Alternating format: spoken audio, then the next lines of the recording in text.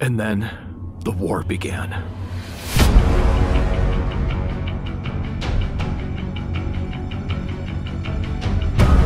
The lesser colonies fell first, one by one. The others developed new machines designed to fight in space.